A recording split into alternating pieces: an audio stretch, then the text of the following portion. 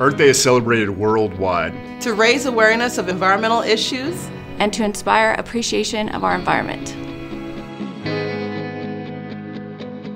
It's a reminder that we only have a small length of time on this planet, so we should enjoy it and appreciate it and do what we can to conserve it for future generations.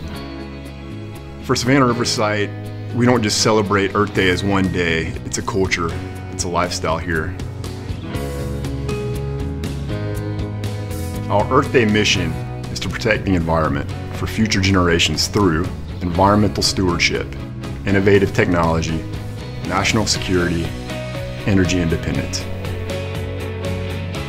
In 1972, SRS was established as the first national environmental research park for biologists to study the effects of SRS operations on wildlife and the environment.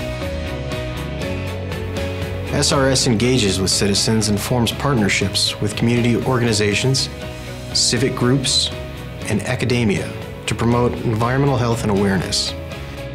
It's important for us to keep a good relationship with the community through our different groups because we belong to this community and this is our home.